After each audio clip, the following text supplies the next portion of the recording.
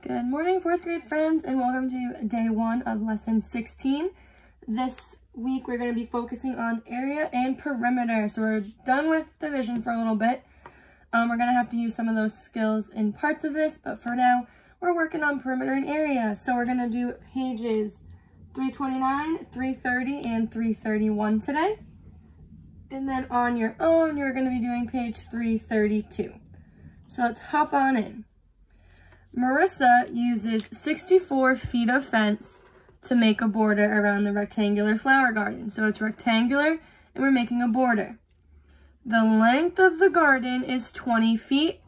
What is the width of the garden? Okay, so we have some unknowns here, but we also have some knowns. So again, we're gonna do two strategies this morning. So divide our paper in half. This is going to be strategy A and strategy B, okay? So strategy A, we're gonna start by drawing our rectangular flower garden. And we're gonna label our known. So we know she's using 64 feet of fence, right? So this entire thing has to be 64 feet around. Remember friends from last year, perimeter is the outside, the border. So for this, we're finding perimeter. Now, we know the length of the garden is 20 feet. So that means up here, this is our length. We have 20 feet. And if up here is 20 feet, that means the bottom side is also 20 feet, okay? But we do not know the width. That is what we are looking for. We do not know the width. So this is a question mark and this is a question mark, okay? So one way we can think of this is, okay, we know it has to equal 64 feet, right? That's a given. That's how much feet of fence she has, so it has to equal 64. We know that two sides are 20 feet, so we could do 20 feet plus 20 feet. I'm to run out of room, oh no. However, we don't know the width, so I'm to do plus W plus W, okay? These are our W's. We do not know them. Now, to solve this, we can add like terms, so add our two 20s. So we can say 64 feet is equal to 40 feet plus W plus W. Okay? And now this is where we have to start really thinking. So we know the widths have to be equal, right? So obviously because they're the same. Obviously, my picture might not be exactly the same, but the widths are going to be the same, just like the lengths are. So that means 40 plus something plus something is going to equal 64. And these two somethings need to be equal. They need to be the same exact number. Okay? So what I'm going to do is I'm going to subtract 40 feet from my total. That's how much we already have, right? So if I subtract this 40 from 64, I have 4 and I have 2. So I have 24 feet left after my length up here and my length down here. So this is how much is left and that's going to equal W plus W. Now just stick with me for a second, friends. We got this. So if it's 24 feet left out of the 64, 40 is already taken up from my length. So now we know the widths also have to be equal. So now we have to think, okay, 24 divided by 2 is what? Or what plus what equals 24? That's the same. And we know that 12 plus 12 is equal to 24, right? So that means that each of these W's has to be 12 to equal the 24 feet left over. So that means that W, or the width, is equal to 12 feet, okay? So friends, for problems like this, it's kind of just using our prior knowledge to um, work around how to fill in the blanks, okay? So it's like filling in a puzzle with using what we already know. Like we knew the lengths are the same and the widths are the same. So, and we knew the total overall. So after we figured out how much was already used up, we had to figure out how much was left over, which was our 24. And then we were able to just use our math facts to help us realize that 12 plus 12 is 24. So each side is 12 feet long. So that's strategy one. Strategy two is using multiplication instead of addition. So it's the same exact picture. So it's 64 feet altogether, the border. And we have 20 feet up here, 20 feet down here, okay? However, we still don't know the W's. We're going to pretend we don't, okay? So now we know the length of two sides is 20 and 20, which equals 40, right? Easy, we figured that out on the first strategy. So the length of two sides is 40. Length of other sides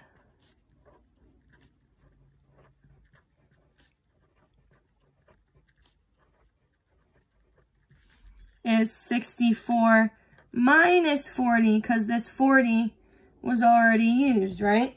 So then if we do that, it's equal to 24. Sorry, friends, I'm kind of running out of room. So we have 24 left. And then instead of doing all this addition and subtraction that we did over here, we could do 24 divided by 2 is equal to 12. So the width is equal to 12 feet. Okay? So this is just a way to kind of combine all of this into this one division sentence, okay? So if you have any questions, friends, feel free to pause here and ask. If not, we're just going to go over page 330 super quick, just explaining, sorry, I have the hiccups, explaining how this works, okay? So we're going to skip number one. We just did that. So now we're going to look at number two. So you can find the perimeter or distance around a shape in different ways. So again, perimeter is this, the border. And I'm just making a dash so we can see the measurements, okay? But it's the overall perimeter, it's the overall border. So, for this one, it's 10 yards and 10 yards for the length and 5 and 5 for the width. So it says for letter A, to complete the addition equation to find the perimeter of this rectangle. So that's easy. We just plug in our lengths and our width. So we have 10, 10, 5, and 5, and I'm also including my units. So let me just add them all up. 10 plus 10 is 20, plus another 10 is 40. That's a lie. That's not what it is at all. 30. Sorry, friends. 10 plus 10 is 20, plus 5 is 25, plus 5 is 30. So the perimeter is 30 yards. See, that's why I always check your work. So, easy peasy, right? It's just using addition um, and obviously we know from previous lessons that if we want to um, make it a little bit quicker, we can use multiplication in place of addition since multiplication is just repeated addition. So letter B, the perimeter formula at the right uses multiplication and addition to find perimeter. Use the formula to find the perimeter of this rectangle, okay? So the, prim the perimeter equation is Perimeter is equal to 2 times length. This L is equal to length, okay? And then plus 2 times width. So it's just like taking 10 plus 10 and saying, okay, well, that's 10 times 2. Or 5 plus 5 and saying, oh, you can also solve that by doing 5 times 2. So the length is 10, so we're going to say 2 times 10. And then the width is 5, so we're going to say 2 times 5 yards. 2 times 10 is 20. 2 times 5 is 10. The perimeter is 30 yards, okay? And again, this is just whatever makes the most sense to you. Oh, I didn't need to write that because it does it for me. Um, but this is just, okay, do you like repeated addition or do you like using the equation right now? Again, friends, this is brand new. We're just starting today, so it's okay if it's not really clicking right now. That's why we're here. We're here to learn and make mistakes and learn from those mistakes. So we got this. So continuing on, letter C. You can also find perimeter with the formula shown to the right. So instead of doing 2 times length plus 2 times width, you can do 2 times length plus width. So if you add up your length and width, you can also do it that way. So 2 times the length, which is 10, plus 5, right? So if we do 2 times 10 plus 5, well, we know 10 plus 5 is 15, so that's like saying 2 times 15. 15 plus 15 is 30. So again, we get the 30 yards, okay? So number two, I want you to circle, star, whatever you need to do because these are three different ways you can go about solving perimeter problems and three different equations you're welcome to use, okay? It's whatever makes the most sense to you. Now, super quick, we're not going to write anything here. I just want to talk to you quick. So, a formula for the perimeter of a square with a side length of s is p, or perimeter, okay, is equal to 4s. Explain why this formula works. Um, so, if we draw a square, sorry, that's supposed to be a square, each side is equal in a square, right? So if this side is 5, this side is also going to be 5, and so forth and so forth. So if we have perimeter is equal to 4s, that's because there's four sides to a square.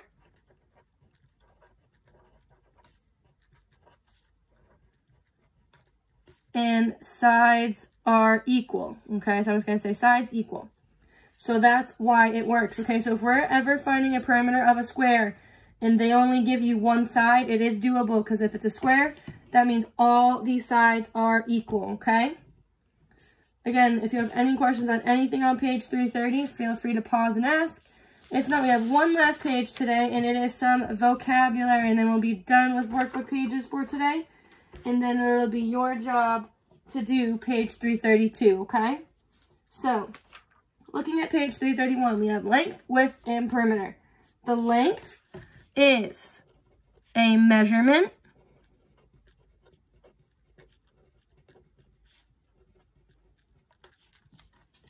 that tells how long something is.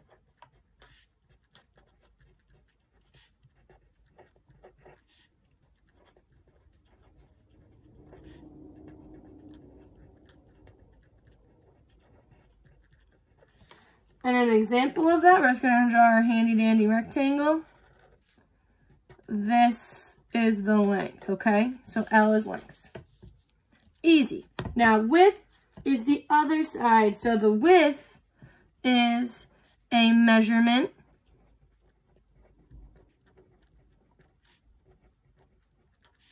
that tells how wide something is, right? Makes sense, width, wide.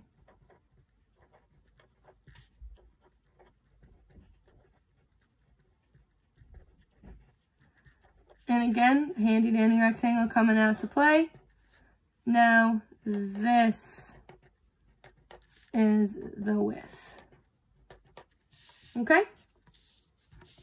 And again, if you ever have to pause to write anything down, feel free, okay? This isn't a race.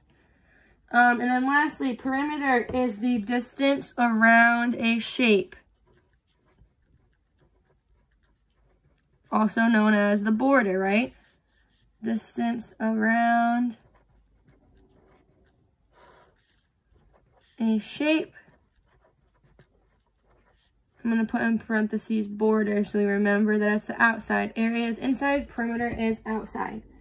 So, an example of perimeter, we're going to draw another rectangle. And we're going to have one that is 5 feet by 3 feet, 5 feet, and 3 feet, okay? And then obviously perimeter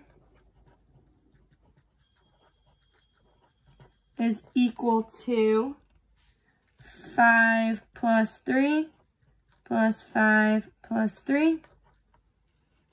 And then that means perimeter